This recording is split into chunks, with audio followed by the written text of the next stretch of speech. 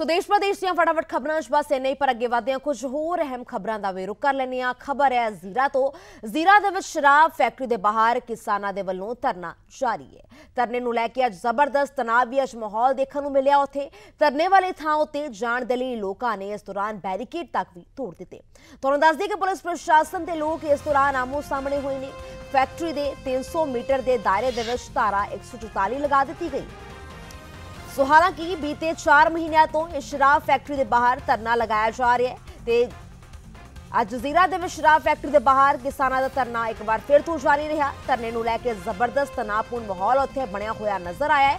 ਧਰਨੇ ਵਾਲੀ ਥਾਂ ਉੱਤੇ ਜਾਣ ਲਈ ਲੋਕਾਂ ਨੇ ਇਸ ਦੌਰਾਨ ਬੈਰੀਕੇਡ ਵੀ ਤੋੜੇ ਹਨ। ਪੁਲਿਸ ਪ੍ਰਸ਼ਾਸਨ ਤੇ ਲੋਕ ਇਸ ਦੌਰਾਨ ਆਮੋ ਸਾਹਮਣੇ ਹੋਏ ਨੇ। ਫੈਕਟਰੀ ਦੇ 300 ਮੀਟਰ ਦੇ ਦਾਇਰੇ ਦੇ ਵਿੱਚ ਧਾਰਾ 144 ਲਗਾ ਦਿੱਤੀ ਗਈ ਹੈ।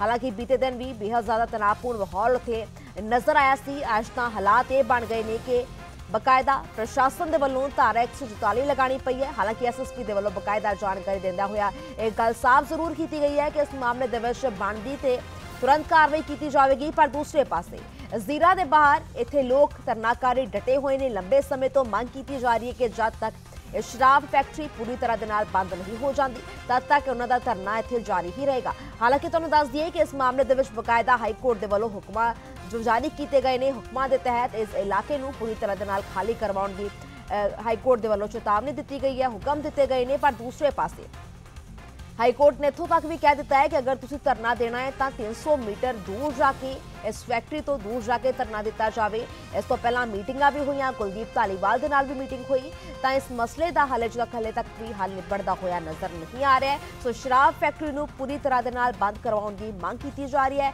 ਆਖਿਆ ਜਾ ਰਿਹਾ ਹੈ ਕਿ ਇਸ ਦੇ ਵਿੱਚੋਂ ਜੋ ਪਾਣੀ ਨਿਕਲਦਾ ਹੈ ਜੋ ਅ, ਵਾਤਾਵਰਣ ਪ੍ਰਦੂਸ਼ਿਤ ਹੋ ਰਿਹਾ ਹੈ ਉਸ ਕਾਰਨ ਬੇਹੱਦ ਜ਼ਿਆਦਾ ਬਿਮਾਰੀਆਂ ਵੱਧ ਰਹੀਆਂ ਨੇ। ਉਥੋਂ ਦੇ ਵਸਨੀਕਾਂ ਦੇ ਵਿੱਚ ਪਿੰਡ ਦੇ ਲੋਕਾਂ ਦੇ ਵਿੱਚ ਇਲਾਕੇ ਦੇ ਪਿੰਡਾਂ ਇਲਾਕੇ ਦੇ ਲੋਕਾਂ ਦੇ ਵਿੱਚ ਤੁਹਾਨੂੰ ਦੱਸ ਦਈਏ ਕਿ ਕਰੀਬ 40 ਪਿੰਡਾਂ ਦੇ ਲੋਕ ਇਸ ਧਰਨੇ ਦੇ ਵਿੱਚ ਡਟੇ ਹੋਏ ਨੇ। ਕਰੀਬ ਜਿਹੜੇ ਨੇੜੇ 40 ਪਿੰਡ ਲੱਗਦੇ ਨੇ, ਉਹਨਾਂ ਦੇ ਵੱਲੋਂ ਇਸ ਪ੍ਰਦਰਸ਼ਨ ਦੇ ਵਿੱਚ ਸ਼ਮੂਲੀਅਤ ਕੀਤੀ ਜਾ ਰਹੀ ਹੈ। ਸੋ ਵੱਖ-ਵੱਖ ਤਸਵੀਰਾਂ ਤੁਹਾਡੇ ਜ਼ਰੂਰ ਸਾਂਝੇ ਕਰਦੀ ਇੱਕ ਵਾਰ ਫਿਰ ਤੋਂ ਹਾਲਾਤ ਇੱਥੇ ਤਣਾਅਪੂਰਨ ਬਣੇ ਹੋਏ ਨੇ। ਮਾਮਲਾ ਇੱਥੋਂ ਤੱਕ ਪਹੁੰਚ ਗਿਆ ਹੈ ਕਿ ਪ੍ਰਸ਼ਾਸਨ ਨੂੰ ਬਕਾਇਦਾ ਇੱਥੇ ਧਾਰਾ 144 ਲਗਾਉਣੀ ਪਈ ਹੈ। ਤੇ ਦੂਸਰੇ ਪਾਸੇ ਪੁਲਿਸ ਤੇ ਪ੍ਰਦਰਸ਼ਨਕਾਰੀ ਆਮੋ ਸਾਹਮਣੇ ਹੋਏ ਨੇ। ਅੱਜ ਫਿਰ ਹਾਲਾਂਕਿ ਬੀਤੇ ਦਿਨ ਵੀ ਹਲਕੀ ਇੱਥੇ ਲਾਠੀਚਾਰਜ ਕਰਨਾ ਪਿਆ। ਪੁਲਿਸ ਪ੍ਰਸ਼ਾਸਨ ਨੂੰ ਰੋਕਣ ਦੇ ਲਈ ਹਾਈਵੇ ਉੱਤੇ ਜਿਹੜਾ ਜਾਮ ਲਗਾਇਆ ਗਿਆ ਸੀ, ਧਰਨਾਕਾਰੀ ਉੱਥੇ ਪਹੁੰਚੇ ਹੋਏ ਸਨ। ਉਹਨਾਂ ਨੂੰ ਵੀ ਖਦੇੜਿਆ ਗਿਆ ਸੀ ਤੇ ਅੱਜ ਵੀ ਅਜਿਹੀਆਂ ਹੀ ਰਲਦੀ ਮਿਲੀਆਂ ਤਸਵੀਰਾਂ ਕਹਿ ਸਕਦੇ ਹੋ ਜਾਂ ਫਿਰ ਵੱਧ ਇੱਥੇ ਅੱਗ ਇੱਥੇ ਉਗਲਦੀ ਹੋਈ ਨਜ਼ਰ ਆ ਰਹੀ ਸੀ। ਇਹਨਾਂ ਲੋਕਾਂ ਦੇ ਵਿੱਚ ਤਾਂ ਦੂਸਰੇ ਪਾਸੇ ਪੁਲਿਸ ਪ੍ਰਸ਼ਾਸਨ ਵੀ ਸਖਤੀ ਵਿਖਾਉਂਦਾ ਹੋਇਆ ਨਜ਼ਰ ਆਇਆ ਹੈ। ਧਰਨੇ ਵਾਲੀ ਥਾਂ ਉਤੇ ਲੋਕਾਂ ਲੋਕ ਇੱਥੇ ਨੇ ਬੈਰੀਕੇਡ ਤੋੜਦਿਆਂ ਹੋਏ ਅੱਗੇ ਵਧਦੇ ਹੋਏ ਨਜ਼ਰ ਆ ਰਹੇ ਨੇ, ਪਰ ਪੁਲਿਸ ਪ੍ਰਸ਼ਾਸਨ ਇਸ ਦੌਰਾਨ ਆਮੋ ਸਾਹਮਣੇ ਹੋਏ।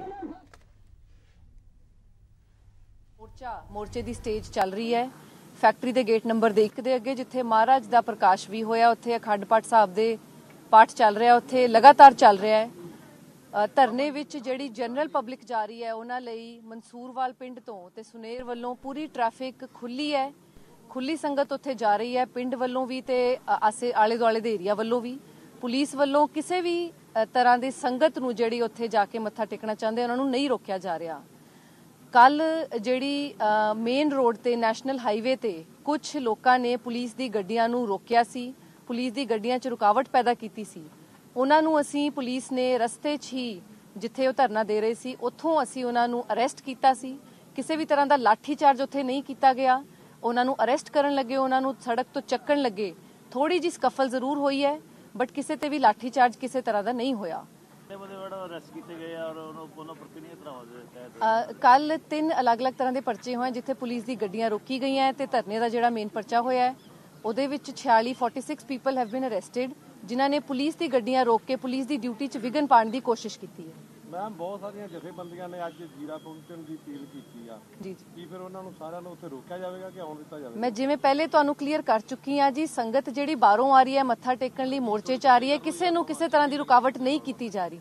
ਜਿਹੜੀ ਵੀ ਜਥੇਬੰਦੀਆਂ ਆ ਰਹੀਆਂ, ਅਸੀਂ ਉਹਨਾਂ ਲਈ ਪ੍ਰੋਪਰ ਟ੍ਰੈਫਿਕ ਦੀ ਡਾਇਵਰਜਨਸ ਕਰਕੇ ਪ੍ਰੋਪਰ ਰੂਟ ਅਰੇਂਜਮੈਂਟ ਉਹਨਾਂ ਲਈ ਕੀਤੇ ਹੋਏ ਹੈ ਇਨਫੈਕਟ ਅਸੀਂ ਸਿਕਿਉਰਿਟੀ ਅਰੇਂਜਮੈਂਟ ਕੀਤੀ ਹੈ ਕਿ ਕੋਈ ਵੀ ਜਿਹੜਾ ਸ਼ਰਾਰਤੀ ਅੰਸਰ ਉੱਥੇ ਆ ਕੇ ਕੋਈ ਸ਼ਰਾਰਤ ਨਾ ਕਰ ਜਾਵੇ।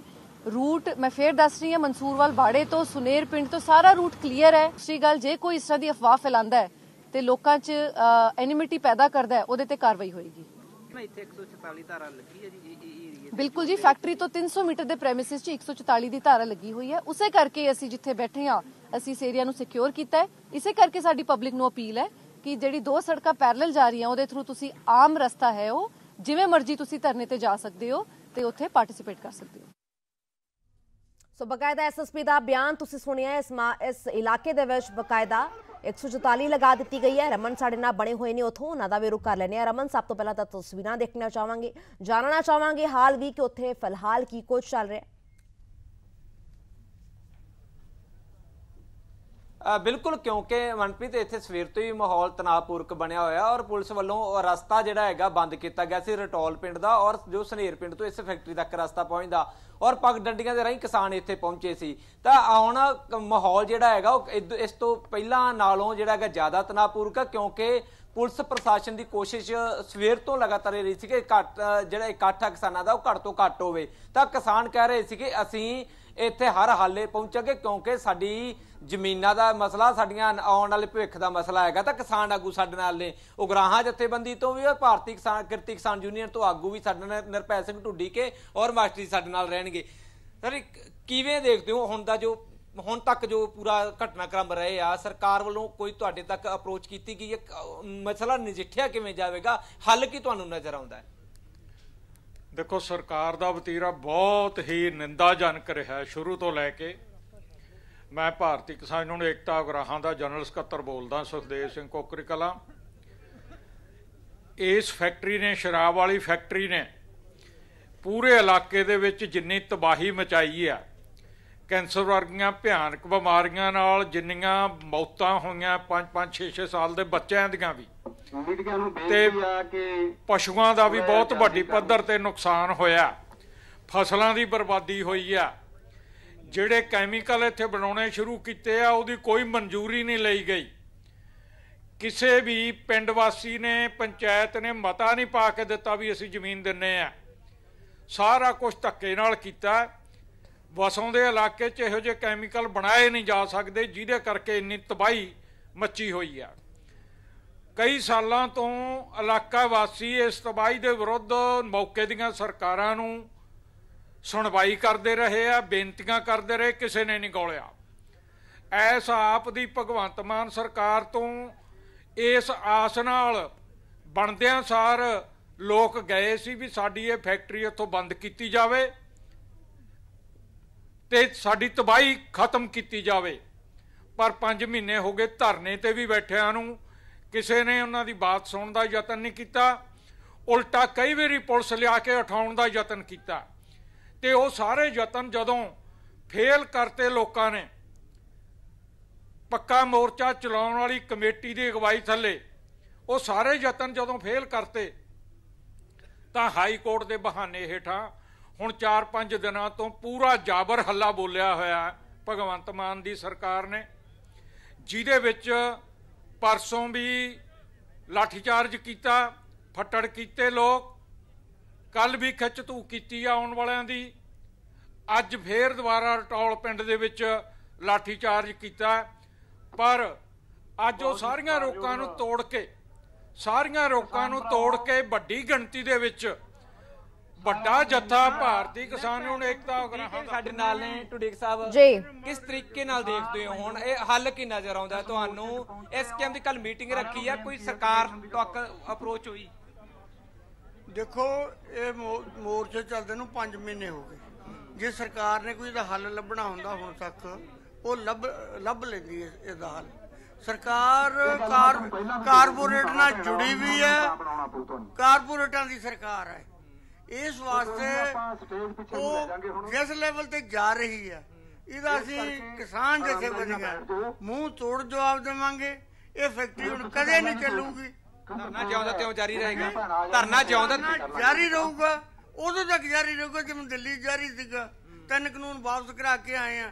ਇਸੇ ਤਰ੍ਹਾਂ ਪੁਲਿਸ ਬਲ ਦਾ ਪ੍ਰਯੋਗ ਹੁੰਦਾ ਧੱਕੇਸ਼ਾਹੀ ਹੁੰਦੀ ਆ ਕਿਸ ਤਰੀਕੇ ਸਰਕਾਰ ਕੋਲ ਬਹੁਤ ਸਾਰੇ ਤੰਤਰ ਹੁੰਦਾ ਪਰਮਨ ਢੰਗ ਦੇ ਨਾਲ। ਉਹਦਾ ਡਟ ਕੇ ਵਿਰੋਧ ਕਰਾਂਗੇ, ਗ੍ਰਿਫਤਾਰੀਆਂ ਹੋ ਜਾਣ, ਜੇਲ੍ਹਾਂ ਭਰ ਦਿਆਂਗੇ, ਇਹ ਪੂਰਾ ਅੰਦੋਲਨ ਚਲਾਵਾਂਗੇ। ਤਾਂ ਮਨਪ੍ਰੀਤ, ਇੱਥੇ ਹਾਲਾਤ ਇਹ ਨੇ, ਹੁਣ ਦੋ ਮੰਚ ਨੇ, ਇੱਕ ਮੰਚ ਉਹ ਹੈ ਜਿੱਥੇ ਗੁਰੂ ਮਹਾਰਾਜ ਦਾ ਪ੍ਰਕਾਸ਼ ਹੋਇਆ, ਉੱਥੇ ਸੰਗਤ ਬੈਠਦੀ ਹੈ, ਲੰਗਰ ਪ੍ਰਸ਼ਾਦ ਦੇ ਸਕਦੀ ਹੈ, ਔਰ ਦੂਸਰੇ ਪਾਸੇ ਗ੍ਰਾਹਾਂ ਵੱਲੋਂ ਸ਼ੁਰੂ ਕਰ ਦਿੱਤਾ ਗਿਆ। ਕਿਸਾਨ ਵੱਡੀ ਗਿਣਤੀ ਵਿੱਚ ਪਹੁੰਚੇ ਨੇ। ਕਿਸ ਤਰੀਕੇ ਦੇ ਨਾਲ ਅੱਗੇ ਹੱਲ ਨਿਕਲੇਗਾ? ਪੁਲਿਸ ਬਲ ਪ੍ਰਯੋਗ ਹੋਵੇਗਾ, ਸਰਕਾਰ ਟੇਬਲ ਟਾਕ ਤੇ ਮਸਲੇ ਦਾ ਹੱਲ ਕਰੇਗੀ। ਪ੍ਰਸ਼ਾਸਨ ਕਿਸ ਤਰੀਕੇ ਨਾਲ ਇੰਨੇ ਵੱਡੇ ਇਕੱਠ ਦੇ ਨਾਲ ਨਜਿੱਠਦੀ ਆ? ਸਥਾਨਕ ਪ੍ਰਸ਼ਾਸਨ ਕਿਸ ਤਰੀਕੇ ਨਾਲ ਹੈਂਡਲ ਕਰਦਾ? ਇਹ ਵੇਖਣਾ ਕਾਫੀ ਹੁਣ ਅਹਿਮ ਰਹਿਣ ਵਾਲਾ ਕਿਉਂਕਿ ਕਿਸਾਨ ਕਰਨ ਧੱਕੇਸ਼ਾਹੀ ਬਰਦਾਸ਼ਤ ਨਹੀਂ ਹੋਵੇਗੀ, ਫੈਕਟਰੀ ਬੰਦ ਕਰਨੀ ਪਵੇਗੀ। ਅੱਜ ਹੋ ਜੇ ਕੱਲ ਹੋ ਜੇ, ਮਹੀਨੇ ਨੂੰ ਹੋ ਜੇ, ਅਸੀਂ ਇਹ ਤੋਂ ਹਿੱਲਣ ਵਾਲੇ ਨਹੀਂ ਹੈਗਾ। ਤੇ ਇਹਦਾ ਵਿਕਲਪ ਦੇ ਰੂਪ ਵਿੱਚ ਕੀ ਪੇਸ਼ਕਸ਼ ਹੁੰਦੀ ਹੈ? ਕੱਲ ਜਦੋਂ ਐਸਕੇਐਮ ਦੀ ਮੀਟਿੰਗ ਹੋਗੀ ਤਾਂ ਸਰਕਾਰ ਨਾਲ ਟੇਬਲ ਟਾਕ ਤੇ ਜਾਣਗੇ। ਸਰਕਾਰ ਵੱਲੋਂ ਕੀ ਵਿਕਲਪ ਸਾਹਮਣੇ ਰੱਖਿਆ ਜਾਂਦਾ? ਕਾਫੀ ਅਹਿਮ ਰਹਿਣ ਵਾਲੀ ਹੈ। ਕੱਲ ਦੀ ਮੀਟਿੰਗ ਐਸਕੇਐਮ ਦੀ ਔਰ ਸਰਕਾਰ ਦੇ ਨਾਲ ਐਸਕੇਐਮ ਦੀ ਜੋ ਇਸ ਤੋਂ ਬਾਅਦ ਮੀਟਿੰਗ ਹੋਵੇਗੀ। ਜੀ ਜੀ, ਠੀਕ ਹੈ। ਠੀਕ ਹੈ ਰਮਨ ਫਿਲਹਾਲ ਇਹ ਤੁਹਾਡਾ ਬਹੁਤ ਬਹੁਤ ਸ਼ੁਕਰੀਆ ਨਾ तमाम ਤਸਵੀਰਾਂ ਲਈ ਤੇ ਜਾਣਕਾਰੀ ਦੇ ਲਈ ਵੀ ਸੋ ਤਸਵੀਰਾਂ ਸਾਡੇ ਨਾਲ ਅ, ਅ, ਸਾਡੇ ਸਹਿਯੋਗੀ ਲਗਾਤਾਰ ਰਮਨ ਤੁਹਾਡੇ ਤੱਕ ਸਾਂਝੀਆਂ ਕਰ ਰਹੇ ਹਾਂ ਕਿ ਉੱਥੇ ਕਿਸ ਢੰਗ ਦਾ ਮਾਹੌਲ ਬਣਿਆ ਹੋਇਆ ਹੈ ਬਕਾਇਦਾ ਧਾਰਾ 144 ਲਗਾ ਦਿੱਤੀ ਗਈ ਹੈ ਮਾਹੌਲ ਨੂੰ ਸ਼ਾਂਤਮਈ ਬਣਾਉਣ ਦੀ ਲਗਾਤਾਰ ਕੋਸ਼ਿਸ਼ਾਂ ਕੀਤੀਆਂ ਜਾ ਰਹੀਆਂ ਨੇ ਤੇ ਦੂਸਰੇ ਪਾਸੇ ਇਹ ਧਰਨਾਕਾਰੀ ਡਟੇ ਹੋਏ ਨੇ